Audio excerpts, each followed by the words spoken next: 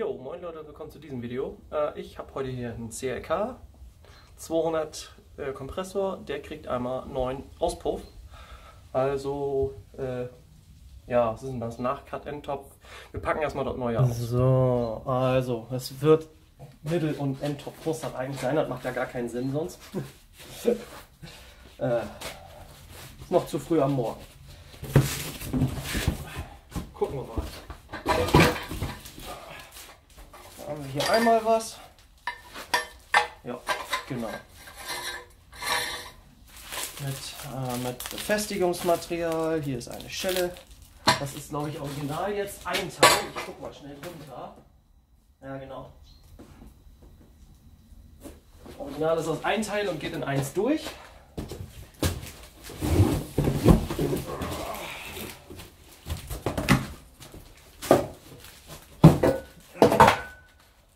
Okay, schöne Dieseloptik mit den Endrohren, auch mal was. Ja, da schauen wir mal, ob wir vielleicht die anderen Endrohre noch dran schweißen, also dass wir das umschweißen. Heißt erstmal den alten Scheiß rauswühlen. Äh, ja, wir gehen mal einmal noch das Auto, ich mal das Rollbrett. So, und dann ist er einmal da vorne. Das ist nämlich zusammengeschraubt. Aber ich bin mir ziemlich sicher, dass die nicht mehr losgehen. Ich werde es versuchen. Habe das schon ordentlich mit WD-40 eingespült. Das wirkt schon eine ganze Weile ein. Habe ich seit gestern Abend. Ich versuche es zu lösen, ansonsten müssen wir es flexen. Ich stelle euch neben, ich stelle euch neben das Auto.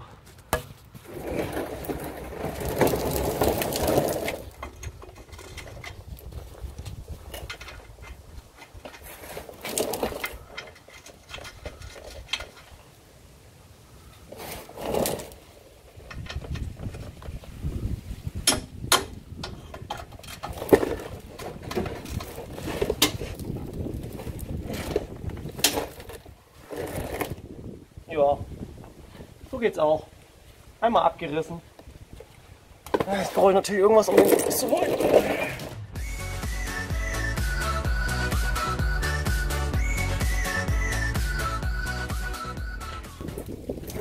Nee, das hat keinen Zweck. Also da kriegen wir doch nichts gelöst. Dann heißt es flexen.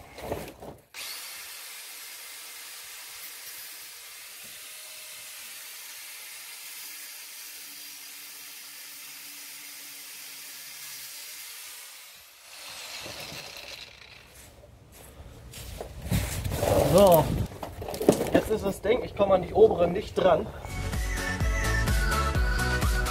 So, also ich werde es jetzt so machen, dass ich hinten alle Halter abbaue, dass ich ihn ablassen kann und dann werde ich hoffentlich da rankommen.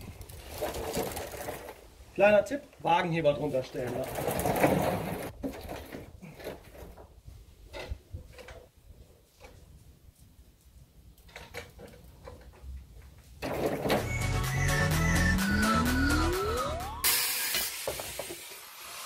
Ja. Der ist ab. Jetzt muss ich hier noch die Reste raustreiben.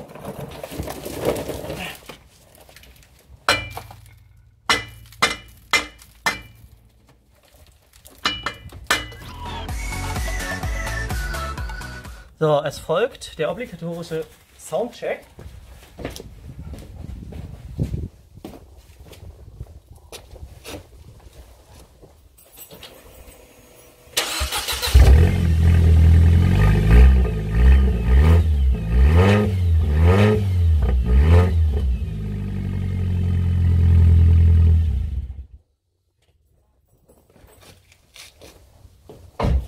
Ja. Könnte man eigentlich so lassen. Klingt ganz geil. naja, gut. Spielerei wie immer. Ja, jetzt mache ich mal hierher. Habe ich hier den neuen. So, mit dem Plansch. Mit dieser Metalldichtung da drin. Ja, die ist, ist ja eben auch rausgeflogen, während ich das abgekloppt habe. Jetzt muss ich einmal da den Halter aus dem Gummi rauskriegen. Der kommt dann nämlich hier ran. Mit einem neuen Gummi natürlich. Aber den Halter, der an der Karosserie geschraubt wird, den brauchen wir. Ist ja klar.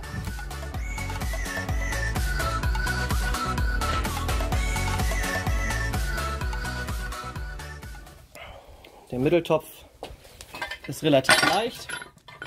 Das sollte man eigentlich so hinkriegen ganz gut.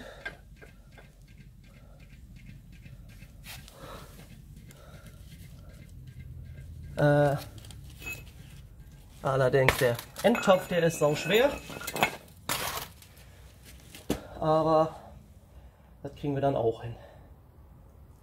Ich werde auch den hinteren Halter hier jetzt noch nicht anschrauben, damit ich nachher ein bisschen Spielraum habe, um den Endtopf zu montieren. Obwohl mir gerade auffällt, nee, erst den Endtopf dran haben, ist glaube ich schlauer. Und dann, weil das ja hier so eine, eine einfache, wo bin ich, wo bin ich, wo bin ich, wo bin ich, weil das hier so eine einfache Rohrverbindung ist, einfach nur äh, reinschieben und dann, ja, genau, so rum machen. Also erstmal einen Endtopf anbauen.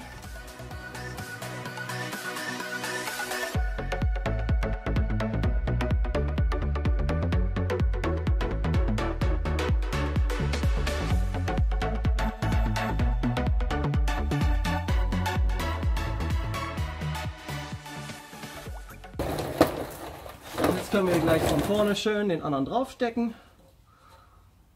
Zusammenschrauben, also ne, erstmal nur zusammenstecken, dann vorne fest. Genau. Und dann können wir das alles noch schön ausrichten.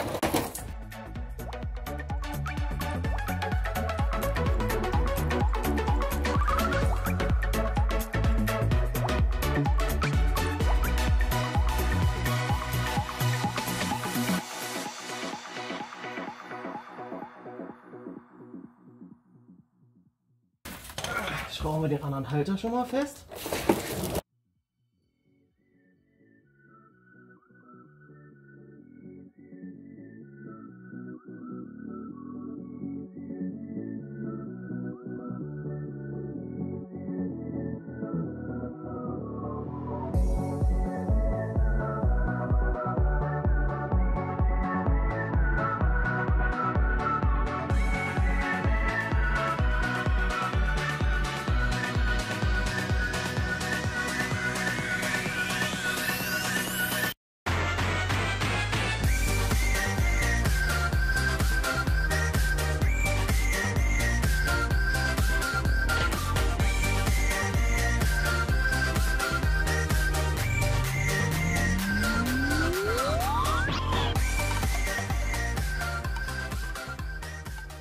Jetzt wird noch einmal geguckt, ob der nirgendwo anschlägt.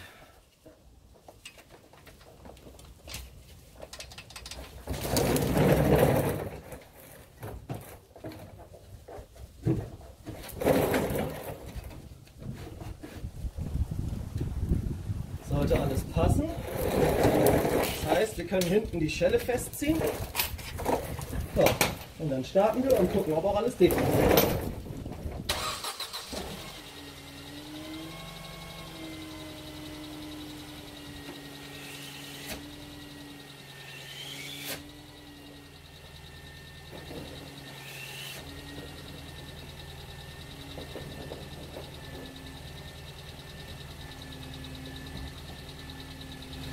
Der Auspuff ist somit getauscht.